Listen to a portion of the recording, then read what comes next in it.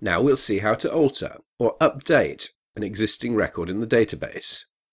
We'll do this first using the GUI and we'll notice the SQL query it generates.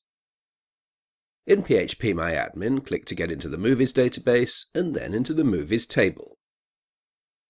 Click on one of the movie titles.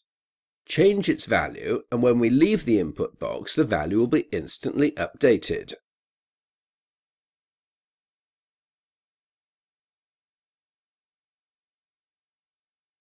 Incidentally, we'll be coding this exact same interface where you make an alteration directly in an input box and save the new value just by leaving the input box for the favourite movies project later. Now look at the SQL query generated.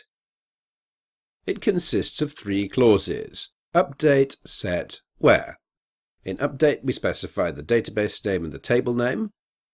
In set, the field name and its new value, and where is the criterion to match. We have to use the movie ID because this is the only way of uniquely identifying a record. Copy that query, edit it to create another one of your own.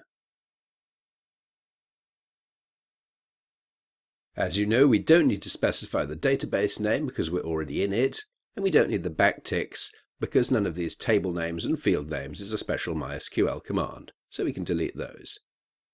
Let's change the title to The Right Trousers.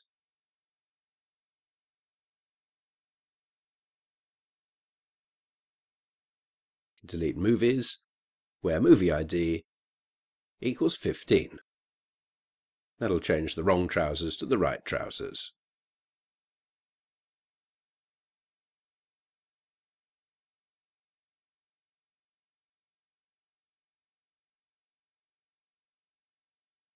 That, very simply, is how existing records are updated in MySQL. And in the next lesson, we'll learn how to use more advanced select syntax to perform the join that we need to link favourite movies and users by their ID numbers.